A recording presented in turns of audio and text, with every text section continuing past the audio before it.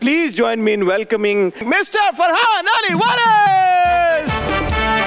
अस्सलाम वालेकुम फरहान भाई ईद मुबारक आपको भी बहुत बहुत मुबारक। वेलकम आप, आपको भी बहुत बहुत मुबारक। अरे हमने आपका सेट टेक ओवर कर लिया यार। नहीं सर हाँ, आ- आपका ही सेट था हमने एक महीने के लिए लिया था। अरे so nice of you Farhan भाई सबसे पहले ईद मुबारक आपको भी बहुत बहुत कैसे हैं? अल्हम्दुलिल्लाह। थके तो नहीं आप? नहीं बिल्कुल नहीं थके। माशाल्लाह माशाल्लाह माशाल्लाह। जिस आपने पैशन के साथ और जिस खूबसूरती के साथ आप ट्रांसमिशन लेके चले हैं मैं देखता रहा हूँ। और मुझे इतना यकीन जानिए कि एक तो सुकून महसूस होता था आपकी बातें सुन के। Very well done job very well done बहुत शुक्रिया। ये समझे मैं एक बात यहाँ ये ज़रूर कहूँगा कि जब तक टीम आपकी अच्छी ना हो ना ऐसे। तो मज़ा नहीं आता मैं इस पर क्रेडिट दूँगा ज़ाहिर है जो हमने अपने अपने एंड पे जो मेहनत कर सकते की लेकिन हमारी जो पूरी टीम थी यानी जो ऑन कैमरा थी और जो बैक कैमरा जो प्रोडक्शन टीम है कैमरा मैन सबकी बड़ी मैं मैं अक्सर ये बात कहता हूँ कि जो हमारा फ्लोर साफ़ करते थे ना अगर वो साफ़ ना करते तो हमारा फ्लोर भी अच्छा ना ऐसे। और सबसे शुक्रिया अदा करूँगा उस बिल्ली का जो आज़ादी के साथ हमारे सेट पर एक घूमती रहती थी अक्सर होता है रिकॉर्डिंग में जब जानवर कोई ऐसा आ जाता है क्योंकि अगर पर्शियन कैट होती तो हम उठा के बिठा लेते ऐसे हैं। ऐसा होता है लेकिन वो वैसी गली की एक बिल्ली थी वो पूरे रमज़ान हमारे यहाँ घूमती रही है। वो बड़ी बरकतें लेके आती है वो बिल्ली। सर किसी की किसी की भी दुआओं से कुछ हो सकता वो जब जब हमारे किसी एपिसोड में शूट में आई है ना वो एपिसोड हमारा माशाल्लाह बड़ा पॉपुलर हुआ है। तो शायद ये उसका भी एक है। हाँ हाँ हो सकता है क्योंकि अल्लाह की मखलूक है। देखिए किसी। का दिल हमने तो एक सेगमेंट भी किया था जिसमें जानवरों के हुकूक के बारे में हमने बात की थी।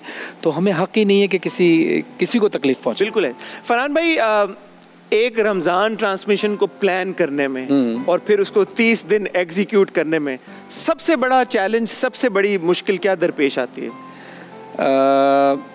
देखिए एक प्रेशर आप पे रहता है। यानी आप जितने साल से भी आप कोई किसी भी फ़ील्ड में हो अब होस्टिंग की अगर हम बात कर लें तो मैं बहुत सालों से होस्टिंग कर रहा हूँ लेकिन हमेशा यानी हो कैमरा ऑन होने से पहले तक एक प्रेशर रहता है। रहता है। अगर वो प्रेशर नहीं है तो इसका मतलब आप अपने काम से इंसाफ नहीं कर रहे हैं। बिल्कुल ऐसे। लेकिन एक तरह से सुकून इसलिए था कि हमारी जो टीम थी क्योंकि एक्सप्रेस में पहली बार मैंने रमज़ान ट्रांसमिशन होस्ट की है। मुझे जितना प्यार और जितना फ्रेंडली माहौल मिला है ना तो मैं तो वैसे ही आधा समझे रिलैक्स हो चुका था। लेकिन अपने तौर पे एक प्रेशर था कि मुझे अच्छे से अच्छा डिलीवर करना है। और अगर हम ये सोच लें कि हम आ, फिक्स हो गए जी हम कामयाब हो गए यहाँ तक तो फिर आप वहीं रुक जाएँगे। हाँ। नहीं मैं बल्कि हमारी टीम बड़ी शाय है। वो अक्सर कहती है कि आप हमारा नाम ना लिया करें ऑन कैमरा नहीं नहीं क्यों ना लें? अगर नहीं लेंगे तो ये हक तलफी होगी। लेकिन हमारी बहुत मेहनती हैं सब राइट फ्रॉम आर डायरेक्टर भाई हो गए, एमन हो गई, हिना हो गई। हिना तो ऑफ़ कोर्स लीड करती हैं और उनकी गाइडेंस में ही सब काम क्योंकि कर रहे टीम इतनी बड़ी है कि अगर हम अब सबके नाम लेना शुरू करें तो मैं फिर किसी कैमरामैन को भी नहीं छोड़ूँगा। बिल्कुल ऐसे। तो फिर ये ट्रांसमिशन ये तीसरी ईद तक चली जाएगी। लेकिन अप्रिशिएट करना हाँ अलहमदिल्ला पूरी टीम का यानी पूरी टीम ओवरऑल सेट बड़ा खूबसूरत जी अलहमदिल्ला सेट बड़ा खूबसूरत है। और ये तो माशाल्लाह अभी मैं जब आया तो मैंने कहा रमज़ान में भी अगर ये होता तो और चार चाँद लग जाते लेकिन इसके अलावा यार ये ईद के हवाले से एक थीम है। लेकिन रमज़ान के हवाले से जितने भी हमारे गेस्ट आए ना हाँ। और सबने बड़ा अप्रिशिएट किया कि यार बहुत अच्छा सेट है और रमज़ान की एक वाइब्स आ रही है बिल्कुल ऐसे, बिल्कुल। तो जिन्होंने सेट डिज़ाइन किया मैं कहता हूँ सबकी बहुत मेहनत होती है और तीस दिन लगातार एक ट्रांसमिशन करना अलहमद ज़ाहिर आप कर तो रमज़ान ट्रांसमिशन रहे हैं but at the end of the day it is also work आपकी जॉब है। तो आप रोज अपनी जॉब पे आ रहे हैं तो थोड़ी सी उकताहट आ ही जाती है। लेकिन हाँ। मुझे लगा है कि तीस दिन टीम में बिल्कुल भी नहीं आई और सबने बड़े पैशन और जज्बे के साथ काम देखिए वैसे तो आम दिनों में जो मेरी महाफिल या मजालिस का सिलसिला होता है उसमें टाइम फ्रेम नहीं होता कि इतने बजे आना है इतने बजे रोज जाना है। ऐसे लेकिन ये एक महीना ऐसा होता है जिसमें हम रूटीन में आ जाते हैं कि इतने बजे तो उठना है इतने बजे पहुँचना है और लाइव है। तो उससे एक घंटा पहले पहुँचना है, तैयारी करनी और अक्सर ये होता था कि ज़ाहिर क्विज़ भी है और जो हमारे मंसूर भाई जो वो देखते थे जो कंटेंट देखते थे, वो इतना अच्छा कंटेंट होता था कि मैं अक्सर बात ये कहता हूँ कि एक होती किताबी तहरीर। मैं कहूँगा, जी, हसन भाई मेरे पास आए और मैंने कहा कि, हसन भाई बैठिए हसन। मैंने कहा, कोई मसला नहीं यार, खाना खाएँगे बैठ के। और हमने बड़ा इन्जॉय किया। और यही बात मैं किताब में लिखूँगा मैं कहूँगा हसन भाई को मैंने दावत दी फिर वो तशरीफ़ लाए फिर मैंने उनसे अर्ज़ की जी, जी। कि आप आइए तो उन्होंने कहा ज़रूर मेरे लिए तो सादत की बात है कि मैं हूँ। तो ये बहुत लंबा हो जाएगा। ऐसे ही। लेकिन जो हम कैजुअल बात करते हैं मैं चाहता था कि कॉन्टेंट भी ऐसा ही हो जो सहल अल्फाज में हो जो मैं खुद बोलता हूँ। तो मुझे ज़ाहिर है उसमें मैं कुछ इम्प्रोवाइज़ करता था कुछ अपनी अपने जहन में जो ख्यालात होते थे। तो मुझे बहुत आसानी हुई मंसूर साहब से और फिर जो हमारी फौजिया बाजी थी उन्होंने माशाल्लाह जो वो सवालात लिख के देती थी उसमें अशार भी होते थे उसमें मुश्किल सवाल भी होते थे उसमें हमारी नॉलेज में भी इजाफा होता था। जब लेकिन मैं आपको भी क्रेडिट देना चाहूँगा आपने जिस हिसाब से आप लेके चले बल्कि मैं तो देख रहा था कुछ इमोशनल मोमेंट्स भी आई जी बीच में। आपका सबसे यादगार लम्हा क्या था पूरी रमज़ान टाइम क्योंकि माशाल्लाह आपकी साहबजादियाँ भी आई मैंने प्रोग्राम देखा। तो ज़ाहिर है वो तो यादगार लम्हा था ही इसमें कोई शक नहीं है। बच्चियाँ जब ज़ाहिर औलाद औलाद होती है तो मेरी बेटियाँ तो मेरे दिल से बड़ा करीब हैं और अल्लाह सबकी बेटियों की नसीब अच्छे करे। लेकिन हर दिन जो है हर दिन एक नया चैलेंज था। हर दिन नए नए मेहमानों से मुलाकात होती थी। मैं समझता हूँ कि तीस के तीस दिन मेरे बड़े यादगार गुजरे। अरे वाह। तीस के तीस दिन बड़े यादगार गुजरे और हर दिन एक नया मज़ा आता था। और फिर मज़े की बात ये कि लोग अक्सर मुझसे कहते थे कि यार रोज़े की हालत में आप कैसे कर लेते हो? तो मैं अक्सर लोगों को ये कहता हूँ और यहाँ कहूँगा भी कि जितना अच्छा टाइम यहाँ गुजरा है उलमा कराम से बात हो रही है या कभी कलाम पढ़ रहे हैं ये टाइम कब रोज़ा गुजरा कॉल्स भी आई हाँ कॉल्स भी इतनी आती थी माशाल्लाह लोगों ने बड़ा अप्रिशिएट किया।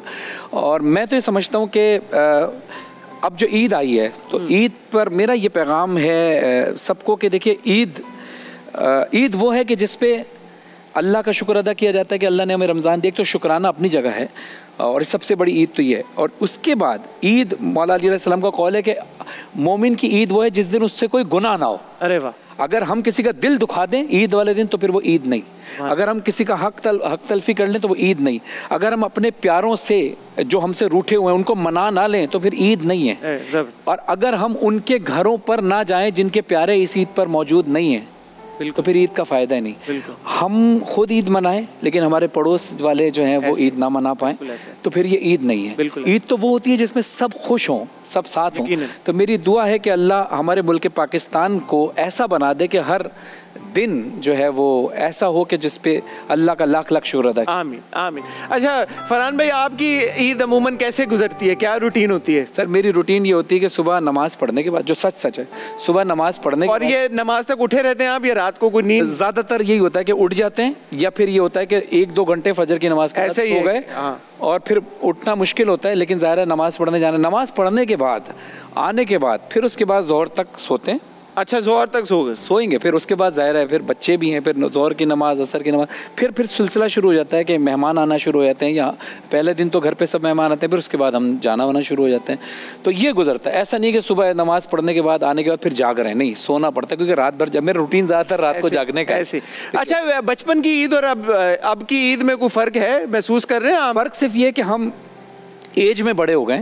ईदी पहले लेने वाले थे अब देने वाले हो गए। देने वाले हो गए। लेकिन अगर अगर अपने बड़ों से जब ईदी लेते हैं तो वही मज़ा होता है। हाँ। ईद अक्सर लोग ये कहते हैं कि ईद अब वैसी नहीं रही। ईद अभी तक वैसी है हम बड़े हो गए हैं अच्छा। हमारी एज बड़ी हो गई है। अब हम हमारे ऊपर जिम्मेदारियाँ आ गई लेकिन क्या वजह ईद एक दिन तो सेलिब्रेट कर ही सकते हैं अपनी ज़िम्मेदारी करते हैं। जैसे मिसाल के तौर पर पहले ये होता था कि ईदी जमा की हम्म। मेले पे चले गए। ऐसे ही है। ऊँट पे बैठ रहे हैं खाना पीने डोली पे बैठ हाँ। रहे हैं। झूले वाले तेज दो खाना पीना छोड़ दो झूले में खाने में इलायची झूले वाला लालची ये सारी डोली पे बातें होती थी ना बचपन की। अब वो चीज़ें अब तो नहीं कर सकते। हाँ। तो यानी जाना नहीं होता इतना। तो वो जो एक मौका था एक वक्त था वो हमारे बच्चे आज के एंजॉय करते हैं उसी तरह जैसे हम करते थे।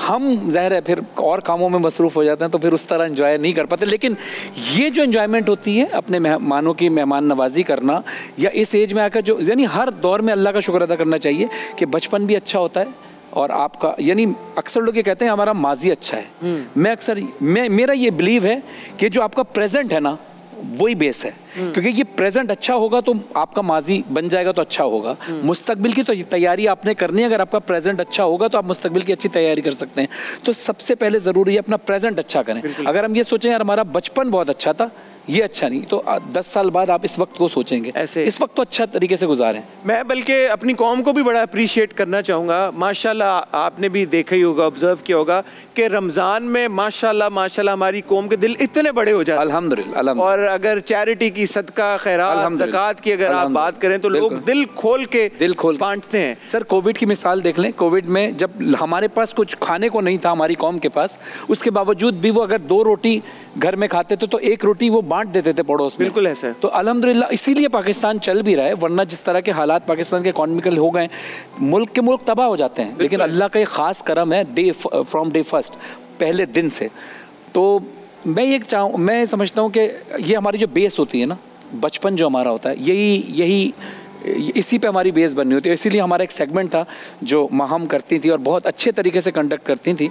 और उनके लिए बड़ा चैलेंजिंग था कि रोज़ एक नबी का वाक़ नबी सलाम का वाक़ सुनाना और छोटे छोटे बच्चों को जब इसमें मरियम होती थी हुरैन होती थी और अलवीरा होती थी मादी होते थे हुर होते थे। माशाल्लाह। तो ये बच्चे जो थे बड़े मज़ेदार बच्चे होते थे। और ये इस तरह से सुनते थे फिर जो सवालात करते थे ना हम्म। उन सवालात का बड़ा मज़ा आता था।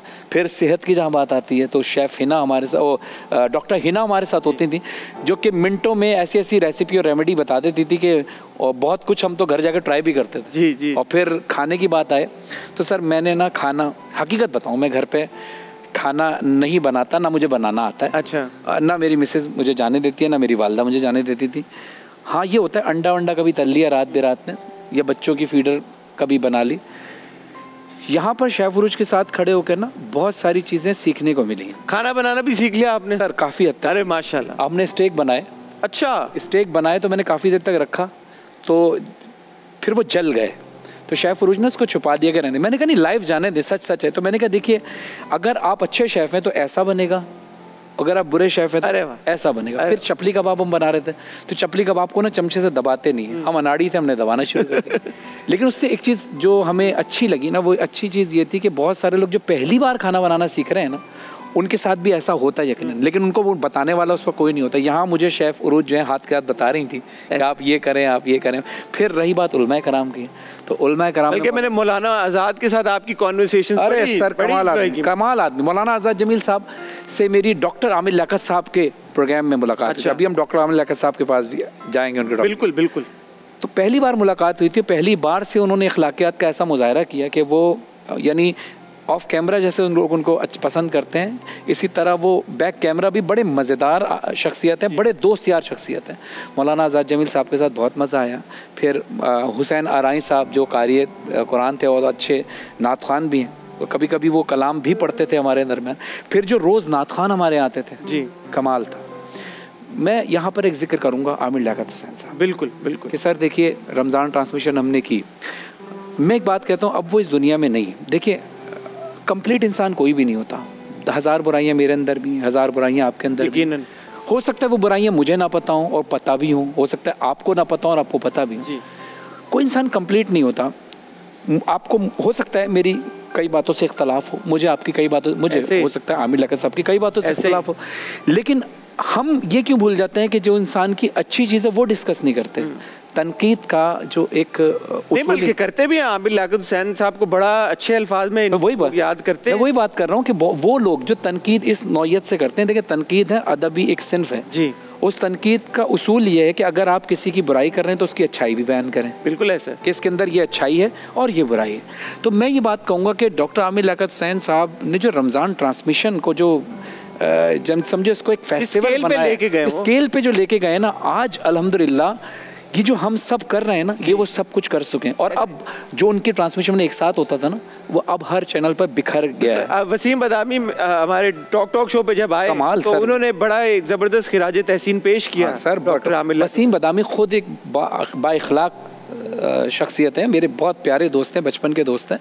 और जिस अच्छा ये मुझे आज पहली बार पता चली बचपन के दोस्त हैं। बहुत बचपन के दोस्त हैं और माशाल्लाह अल्लाह ने उनको बहुत इज़्ज़त से नवाजा। माशाल्लाह। अल्लाह ने बहुत इज़्ज़त से नवाजा है। अल्लाह तो कितनी अच्छी बात है यार आप सबके बारे में इतनी अच्छी अच्छी बातें करते हैं। देखिए फरहान भाई आप ऐसे ही हैं कोई मैं ऐसे ही हूँ। कभी कहीं पे कोई बात निकल आती है किसी नहीं सर मैं ऐसे ही हूँ। मौला का कॉल है तुम जैसा चाहते हो तुम लोग तुमसे मिले तो तुम भी लोगों से वैसे ही मिलो। माशाल्लाह। अगर हम चाहते हैं कि हमारी इज़्ज़त हो तो हमें इज़्ज़त करनी चाहिए। अगर किसी को अल्लाह ने इज़्ज़त दी है तो अल्लाह की तकसीम है। उसको मानना चाहिए वरना फिर आप भी माने नहीं जाएँगे। अरे नहीं यकीन मैं आज मेरी आपसे पहली मुलाकात हुई है मुझे इतना अच्छा लगा आपसे। आपकी गायबाना मुलाकात आपको एक्सप्रेस पे होस्टिंग करते हुए तो मैंने देखा बहुत सारे क्लिप्स भी देखे।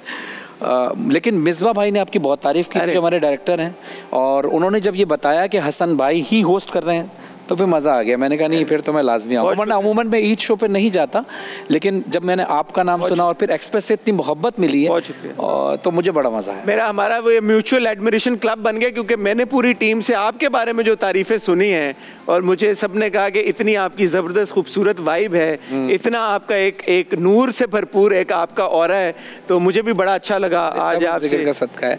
अक्सर मैं हम ट्रांसमिशन में जो हमारी सारी टीम है मिसबा भाई हो गए महानूर हो गई एमन हो गई हिना हो गई और सम तमाम लोग शाहरुख वगैरह ये सारे लोग ना अक्सर हम अक्सर मैं ही उसमें करता था कि मेरी एक आदत है बहुत सालों से कि कोई अगर किसी की शक्ल में मिलता होता है ना तो मैं उसकी तस्वीर खींच लेता हूँ और फिर अच्छा। दिखाता हूँ सबको यार देखो फला ही इसमें मिल रहा है फला ही इसमें मिल रहा है अच्छा। फला ही इसमें मिल रहा है तो ये भी मस्ती मज़ाक चलते थे तो काफ़ी लोग हमारे गेस्ट भी आए काफ़ी लोग हमारे कैमरामैन भी, भी थे जो किसी न किसी में मिलते थे ये बड़ी ज़बरदस्त आदत है आपकी।